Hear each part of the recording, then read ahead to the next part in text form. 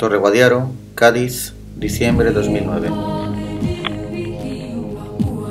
Una temperatura exterior de 22 grados centígrados y el agua una temperatura que oscilaba entre los 16 y 17 grados.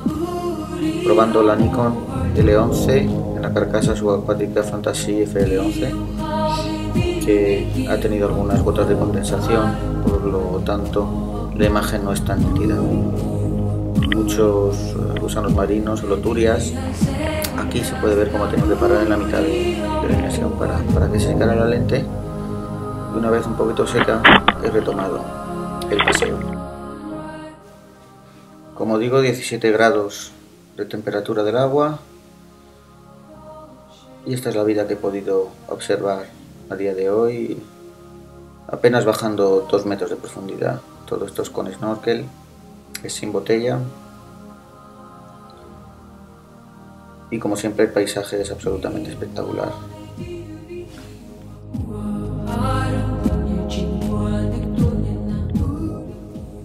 Como siempre, y como viene siendo habitual por aquí, hay mucha vida, anémonas, eh, mucha flora, peces alevines, eh, bancos de peces,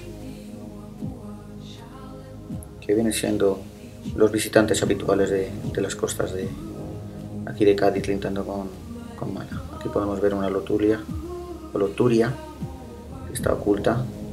La podemos ver. Aquí otra diferente, otro ejemplar. Un erizo de los miles que hay por aquí. Y un tremendo banco de peces, como vemos ahora, que nos despedía a la salida de este paseo de sábado en diciembre.